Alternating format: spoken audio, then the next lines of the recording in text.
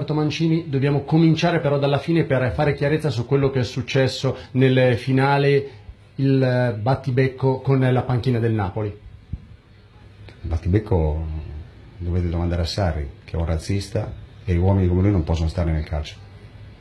Cerchiamo di spiegare un attimo. Uh, è nato tutto dal recupero, dalla segnalazione del quarto uomo, poi però sono volate parole pesanti da parte di Sarri a indirizzo, al suo indirizzo. Ecco.